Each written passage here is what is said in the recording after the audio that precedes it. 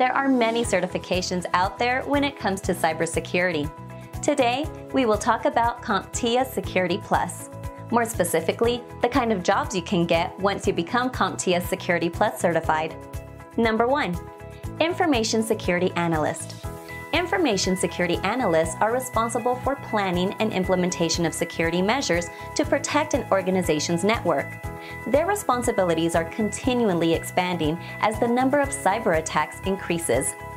An information security analyst makes approximately $60,000 a year, with the more experienced making over $100,000 a year. Currently, there are more than 27,000 unfilled positions for information security analysts in the US alone. Number 2. Penetration Tester. One of the most interesting career paths available in information security is penetration testing. A pen tester has a narrow focus of finding security flaws and exploiting them to see how stable and secure a system is. Currently, there are more than 4,000 unfilled positions for penetration testing associates, consultants, and engineers.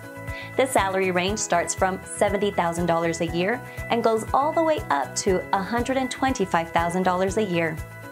Number 3. Military or industrial InfoSec jobs.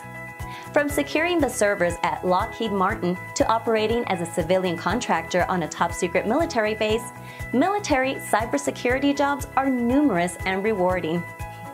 You'll understand why we don't have data on the salary range and unfilled positions for this job title. Number 4. Systems Administrator. It sounds like a job title more suited for a CompTIA Network Plus certified professional, but you'd be surprised how many organizations are looking for systems administrators with a CompTIA Security Plus certification. More than 58,000 to be exact.